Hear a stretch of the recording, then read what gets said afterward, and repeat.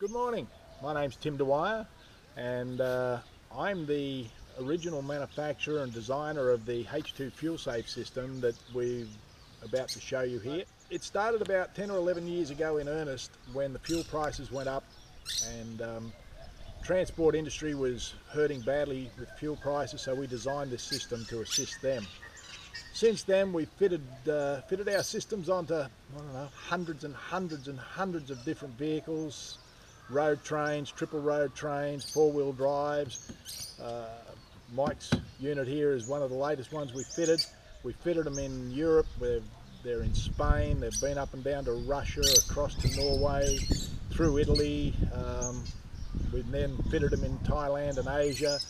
And it doesn't matter where we go with our systems. Uh, the results are they're identical. It works and it doesn't fall apart and it doesn't stop working. With the emission controls that are out there today, regardless of the whether you're a Euro 3, Euro 4, Euro 5 or even the Euro 6 standard engines, our systems can still be of a benefit to you in reducing the emissions even further and of course reducing your fuel costs. And, and at the end of the day, for you in business, putting bottom line dollars in your pocket has to be a benefit. Today, just want to give you a quick overview of what we've done with Mike's Toyota four-wheel drive here. And I think you'll see the simplicity, the ruggedness, and the fact that the emissions, you'll see we're going to do an exhaust test as well. Uh, fairly rudimentary test albeit, but you'll see the difference. All right, here we are at the back of uh, Mike Stephenson's 2003 Toyota and we've got the hydrogen unit fitted as you've seen in the toolbox before. We've got a piece of white paper towel here and I'm going to ask Mike to give this thing a bit of a bootful and let's see what sort of uh, exhaust we get coming out of here. Normally we get a bit of soot but let's have a look.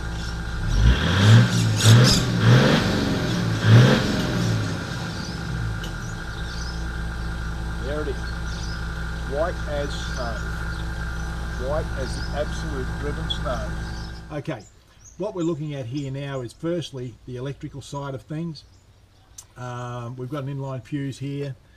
Uh, we draw the power from the battery direct back to the uh, relay switch that switches the hydrogen unit on when the truck's running and switches it off when the engine's not running.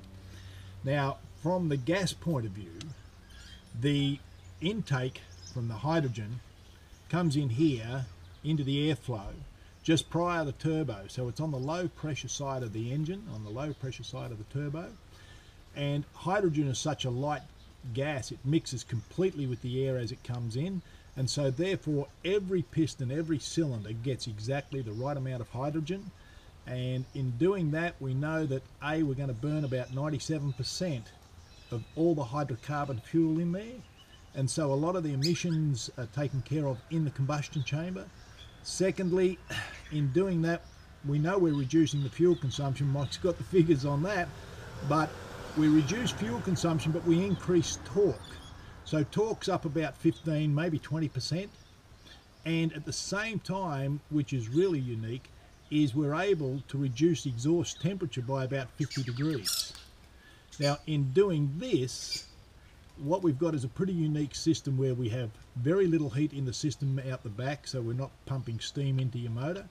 Um, the hydrogen comes in clean. It's it's there's no steam coming with it because there's no temperature back there in the system. And as far as I know we're about the only people on the planet that have been able to produce hydrogen through electrolysis. Quite cool. Feed it into the intake get all these results and these these systems that we build uh, they're designed to last 5 million kilometers without fail. That's not bad. What we've got here now is one of our electronic boxes and I'm about to take the back off it so as you can get a look at the magic.